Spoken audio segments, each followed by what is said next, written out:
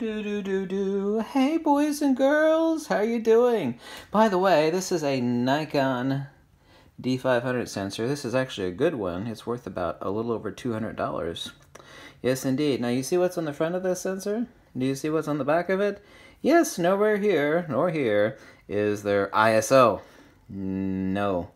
No, there's not. Now you see these two Flexa cables that are gold colored here? And this is the signal feed which goes to the controller board.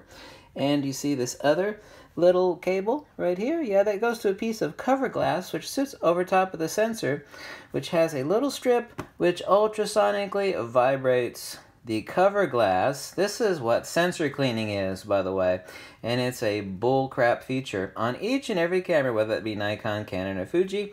Yes, this is ultrasonic cleaning. That little flexi cable right there, it actually vibrates the cover glass eh. To theoretically shake off dust. It's not actually attached to your sensor. So when you actually do sensor cleaning, you're not actually doing sensor cleaning, but effectively so, but it's completely useless regardless. So let's get to the point here. Right, everybody thinks that ISO has something to do with exposure. Well, sure, that's the case. We all know that exposure is time and gain or shutter and aperture and ISO, right? Well, that would be the case if we were talking about film photography, which of course we're not talking about film photography. Here's the actual path. We have the sensor, the captured image, then ISO, let's just say ISO 200, then it goes to ADC, analog to digital conversion, then to processing in the main board, and also noise firmware is actually applied because actual noise has certain frequencies. And in the case of processing, we actually have signal processing, which cancels out a lot of noise. And then it goes on to SD card or XQD card. So say we shot at ISO. If you don't know what ISO invariance is, please to God, look up ISO invariance. So here we have ISO 200, for example, right? At a fixed aperture and a fixed shutter speed, whatever that may be. Okay, here we have two identical shots two identical levels. ISO 200. In the case of the captured, by the way, captured is a word that is in the past tense. In other words, everything has already occurred, the shot is taken. ISO is applied. So let's take our shot at ISO 200, and the only thing we're changing is the ISO. We're going to take an additional shot at ISO at the same shutter speed and aperture. Okay, now we've gone from ISO 200 to say, let's say 800 ISO. Okay.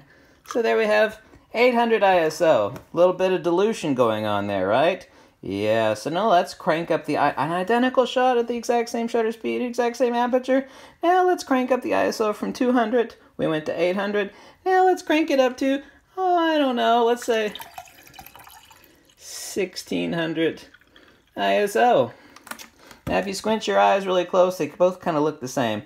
But uh, we all know this is a little bit more diluted, right?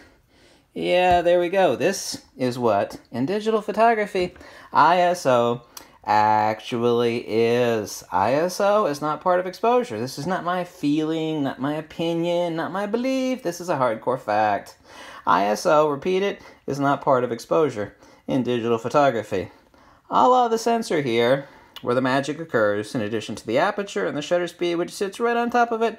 You see, there's you know, no, there's there's no ISO here. There's no ISO here either. ISO? ISO? You see this sensor? It's not like the eyeballs that you have where you go into a dark room and your iris opens up to let more light in. Of course, that would be kind of akin to aperture rather than ISO. You see, there's nothing occurs on the sensor. Okay?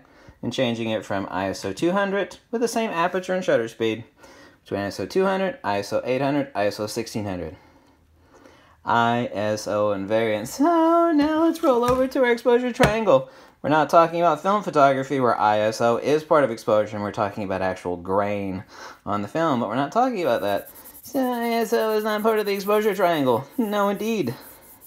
Like film photography, however, we do have gain and time, i.e. aperture and shutter speed, but the exposure triangle in digital photography for number three, boys and girls, is this.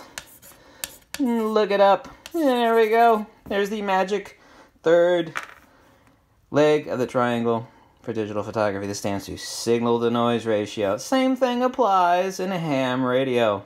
You see, in ham radio, there's this neat knob on the radio for the incoming signal where you could apply gain, not the volume knob, boys and girls. No, no, no. There's another knob called gain, not volume. Volume knob, right over here on my Yaesu and my ICOM 706 Mark II. A volume knob? No, no, no. We're talking about a gain knob. A gain applied to the captured, and this would be PT, past tense, captured signal. Right? You see? There's nothing on this sensor pertaining to ISO. No, there's not.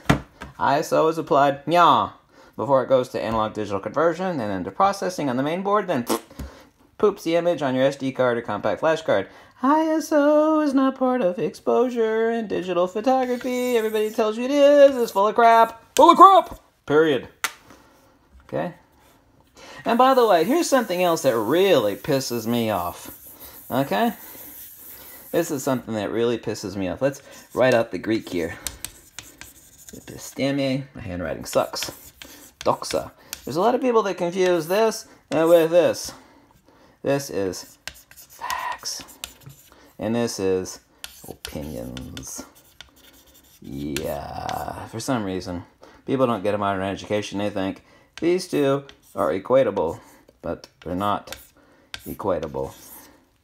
Episteme versus doxa, facts versus opinions. Yeah, yeah, jawohl, jawohl.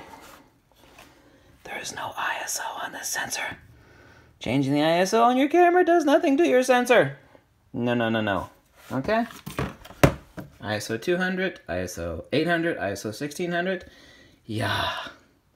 Jawohl. Now we know ISO is not part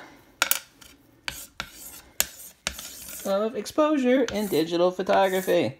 Anybody who says otherwise is full of wham. P.S. Ta-da! Thank you so much for watching. Hope it made you happy because it's all about, yay, the facts. I gotta get myself some freckles. I gotta get, wait a minute, I gotta get myself a double chin. There we go, double chin. Fat boy, no hair, big ears. Facts. Goodbye.